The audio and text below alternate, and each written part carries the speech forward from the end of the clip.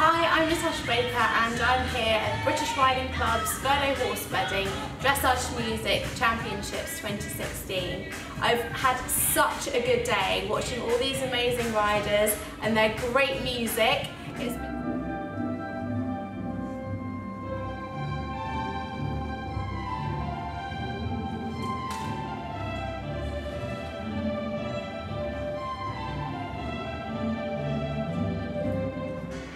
When I'm putting together a new freestyle to music, it's really important to keep the compulsories first and foremost thing on your mind. Make sure that you keep the test symmetrical so it's really easy for the judges to follow and don't clump all of the um, compulsories together. Make sure you can spread them out throughout your test. I never start on a compulsory movement because if your horse is a little bit tense from going into the arena, it's always good to put something else in first to then flow into a compulsory movement. So you've got a little bit more time to get together and prepare for your compulsory because really that's what's the most important thing in your test. Try not to do too many transitions, try and keep the, all the trot work, all the walk work and all the canter work together so it's really easy for the judges to follow. And make sure that you play on your horse's strengths. If you're good on one rein and not so good on the other, do your good rein first and then follow on with the not so good rein. And just make sure that it's completely equal on both reins. I hope this helps.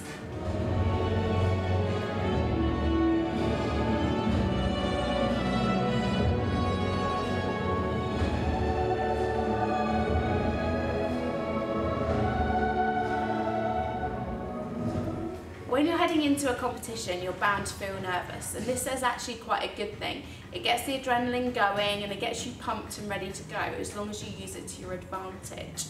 It's really good to actually go in feeling a little bit excited as long as that doesn't go down through your pony. So take a deep breath and relax. For freestyle, definitely, just imagine that you're going into another competition, riding exactly the same fall plan as you do at home, and just relax and enjoy it the judges don't actually know where you're meant to be going. So if you go wrong, it doesn't matter. You can just freestyle your freestyle. I had to do that when I was in London at the Paralympic Games, so if it's possible there, it's possible anywhere. But the main thing is to just smile, relax and breathe and enjoy.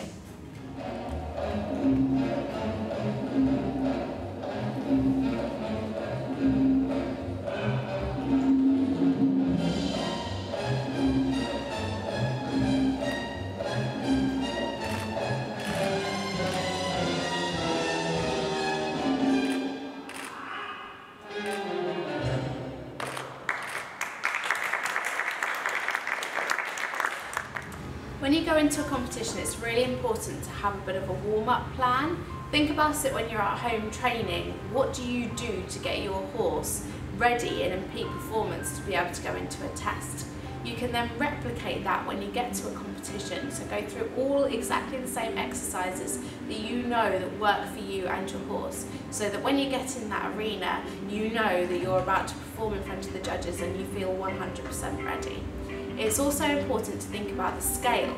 Compared to the actual arena that you're competing in and your warm-up, is your warm-up a lot bigger or a lot smaller? Bear in mind the sizes of your circles, for example. If you're going to be practicing 10 metre circles in your warm-up, make sure that they are genuinely 10 metres because when you get in there, they could be a lot bigger or a lot smaller. So make sure that you practice the scale in your warm-up compared to what you're going to be competing in.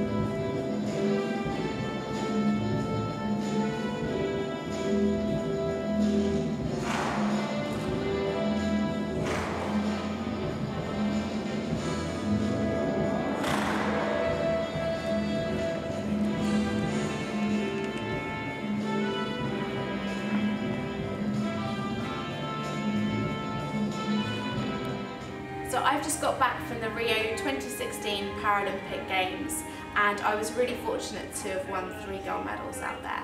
JP and I had the most fantastic time. It was a brilliantly organised competition and it was really, really good fun. The three tests went as well as they could have done. My freestyle was definitely my favourite though. It's definitely a highlight of mine and something that I really look forward to. My freestyle is definitely my favourite because of the music. I love riding to my music, which is uh, composed by Tom Hunt, and it's Avatar music, which is really enchanting and beautiful. It feels like I want to take off with my wings at the end of the test. Um, JP went so well, and I think it's actually the best freestyle that we've done together, purely because nothing actually really went wrong. I was bang on my time every time the music changed. I was on my transitions and I was exactly where I wanted to be. And so when I finished, I was really emotional. Um, it was such an amazing four minutes of my life and to find out then that I'd won the gold medal from completing it was just the cherry on top. Um, it was also emotional because it was my last para competition with JP. So it was a, a definite way to go out on a high from.